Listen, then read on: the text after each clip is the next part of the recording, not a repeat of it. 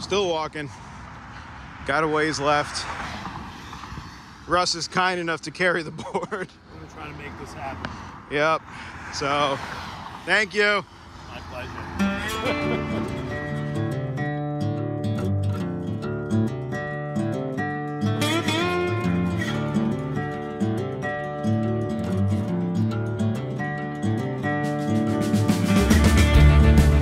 Floatwheel ADV and ADV Pro are fairly new offerings to the one wheeled electric skateboard market, and what have looked to be the first factory produced alternative to the one wheel made by Future Motion.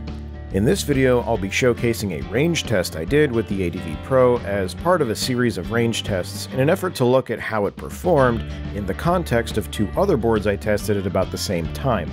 And so three consecutive range tests were done. This one for the ADV Pro, one for the Onewheel GTS series, and one for my own custom VESC board which I call the Galleon. The GTS range test was published prior to this video, and the custom VESC board test will be published shortly after this. I did my best to place these tests as close together as possible, with the closest ambient temperature in order to make these as comparable as possible. So while these mileage figures may not be what someone else gets, they are at least as accurate a comparison as I could get in these circumstances.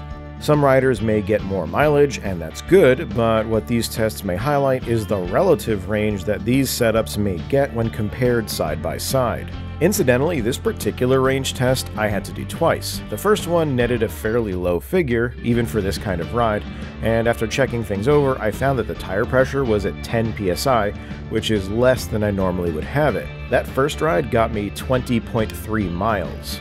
After being reminded that the right thing to do would be to do it again, I pushed the schedule back and did it again. So, ignoring that first ride, the details are as follows. Battery was of course charged to full, which is an hour left on the charger after a green light, and full battery confirmed in the app.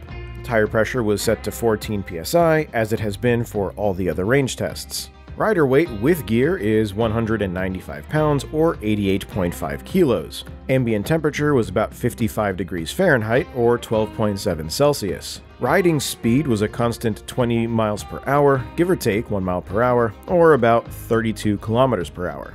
The relive recording averages out stops into the top speed, of which there were a few to start and land the drone, so you'll have to take my word for that again. There was again a moderate crosswind almost the entire ride, sometimes shifting into a headwind in both directions, due to the route being not just right off the water, but between waters. Most of the route was flat, with some slight inclines and declines due to bridges. On this ride, I was able to ride 23.3 miles, or 37.5 kilometers, before the board went into low voltage tiltback and made me stop riding. It's at this point that I consider the range test complete. Afterwards, I went into VESC Tool and lowered my low voltage tiltback settings, which you should definitely not do, seriously, but I did it just to see what I could squeeze out of the battery before the BMS shut off. I got half a mile before the board's BMS completely shut power and introduced me to the pavement. Thank you to the new Flatland 3D carbon gloves for protecting my palms during that fall. They did very well, and I like those gloves very much. Fortunately, I was riding with my colleague Russ Martin, who was able to carry the Floatwheel on his custom VESC board using a 75 volt meat pack battery for about a mile and a half while I walked. Considering the Floatwheel is about 38 pounds, this was very welcomed help. I got a bit too ambitious this time around and assumed that the extra tire pressure would have gotten me over 25 miles, but I was wrong. And so we both ended up walking anyway. And carrying boards a couple of miles really sucks no matter which way you slice it.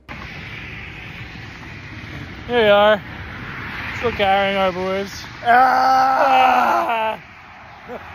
So make better choices than I did. And again, thank you to Russ for being so gracious about the ride test, as I would have been way more salty about it.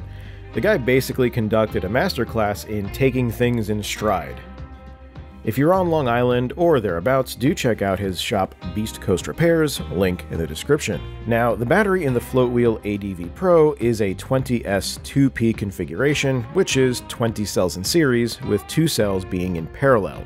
It's rated at 604.8 watt hours for context. As usual, rider weight, ambient temperature, and ride style will affect energy consumption and therefore range. Anyway, that wraps up this installment of the range tests, and the next one is for my own custom build, and that video will be out shortly, so make sure to subscribe. As always, thank you for watching.